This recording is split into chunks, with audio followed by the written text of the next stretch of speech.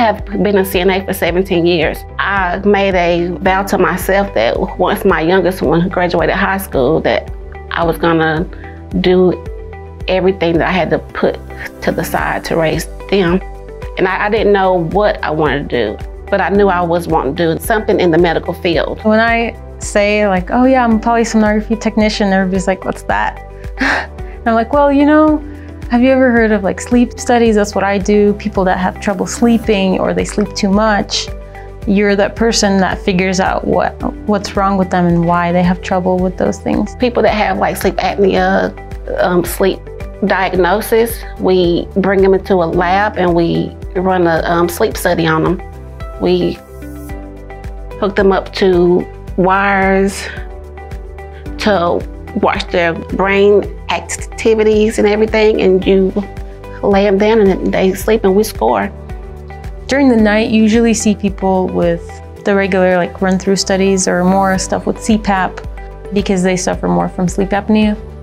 But during the days, I mostly run MSLTs, which are just like a series of five naps for people that have trouble um, waking up, like they get too much sleep and they can't wake up. Sometimes they have people that um, have third shift um, disorder, so they uh, sleep during the day and they wake up at night, and so they're there to fix that problem.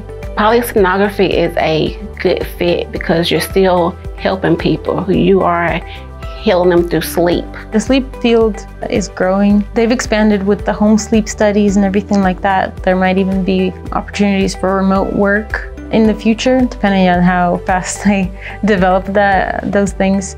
But they also have um, new positions in sleep called like sleep navigators who will work in the hospital. So I think more and more positions like that will open up or other opportunities as well.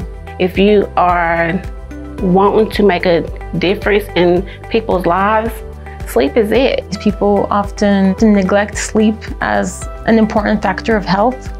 Sleep revitalizes you and allows you to get through your day a lot better. So working with people that, you know, feel unrefreshed and everything, they they just feel so much happier after they leave, you know, and they feel healthy and that's any aspect of medicine really. You just want people to feel healthier than they are when they come in. That's really what makes me really want to stay in it because it's beautiful to see people getting healed through sleep.